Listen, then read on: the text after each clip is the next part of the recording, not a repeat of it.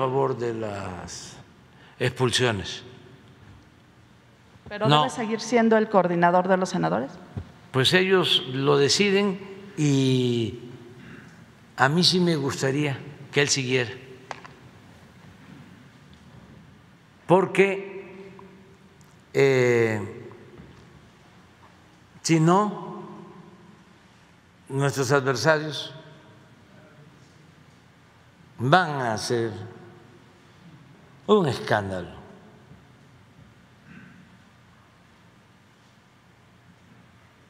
No, no, no, no, no, no, no. Es que no pasa nada. Ya cambió todo. Un senador, un diputado,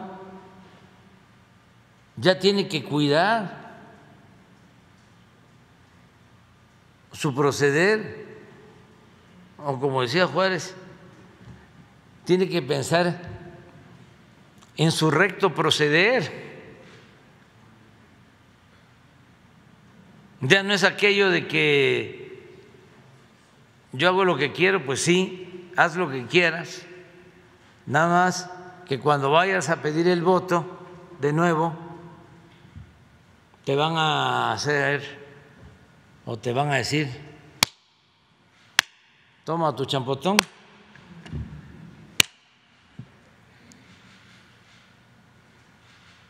Así están las cosas. La verdad, es un momento estelar en la historia de México. Y la invitación aquí es un agradecimiento a los que votaron a favor,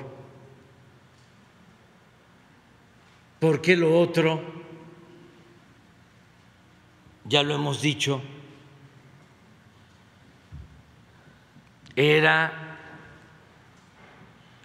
la antidemocracia.